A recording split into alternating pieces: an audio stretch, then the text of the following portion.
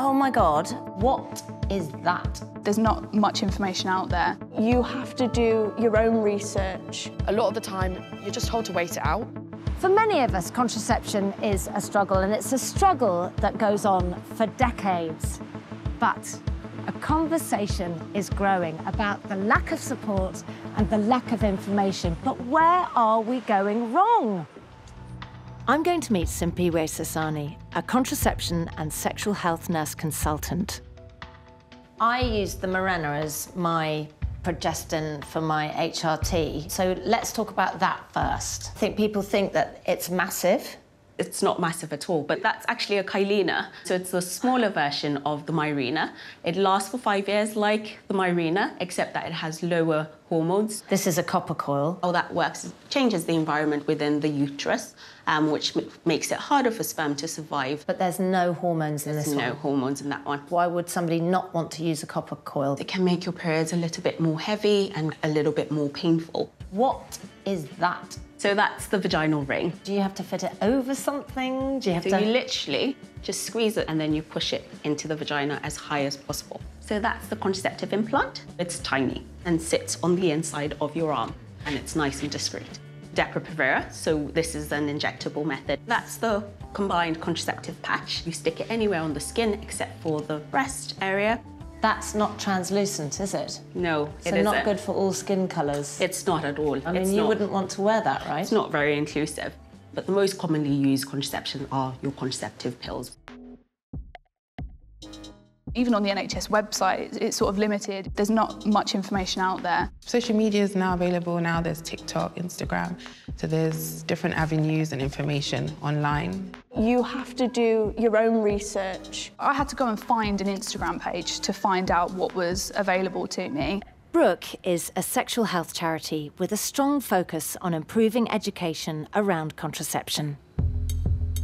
Over a quarter of young adults in the UK source their news from TikTok.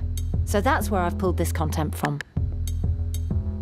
Did you know that being on contraceptions or birth control pills will increase or double your risk of cervical cancer? In addition to destroying the brain, birth control also destroys the beautiful intuitive connection that a woman is supposed to have with her body. Women on birth control choose the wrong partner. It can lead to offspring with weaker immune systems. Well, there's been some studies on this, they're inconclusive. But there's something, something is happening. Oh my God. The quite frightening thing, I think, was the lady at the beginning. She was sort of masquerading as, as a doctor, a medical expert of some sorts, and she was saying things or using sort of medical jargon that made me think, oh, oh is, is that bit true? Is that kind of based in fact? What I'd really hate to think is that somebody for whom contraception is working and is working really well is going to be really scared off of using it.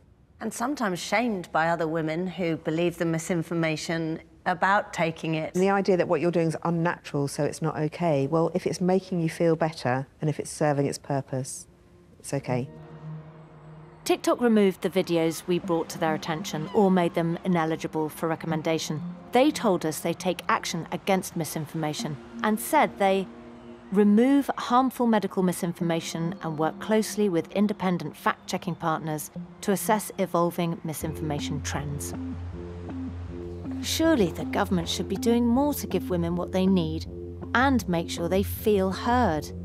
I'm going to speak to the Minister for the Women's Health Strategy, Maria Caulfield, to find out what, if anything, is being done about this. In our survey, we found that 77% um, of women suffered side effects on the pill, which is pretty high, isn't yeah. it? I mean, women are so dissatisfied at the moment and feeling so kind of abandoned that they are not even taking the pill.